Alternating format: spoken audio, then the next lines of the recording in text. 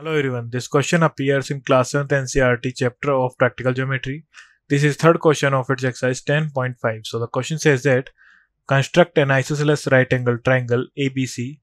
where angle ACB equal to 90 degree and AC is equal to 6 centimeter. So firstly हम एक line segment draw कर लेंगे of 6 centimeter with the help of a scale AC.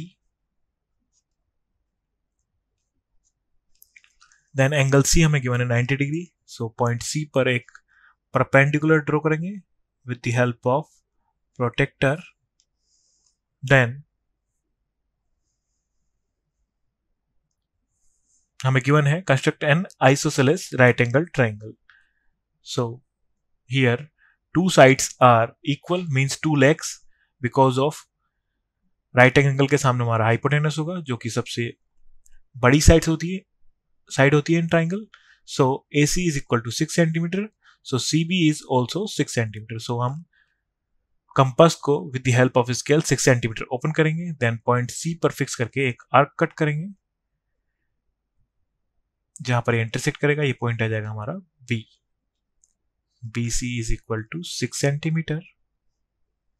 then A को B से join कर देंगे।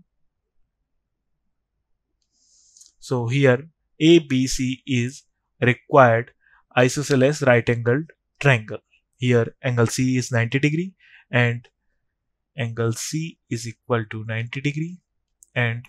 A C is equal to B C is equal to six centimetre thank you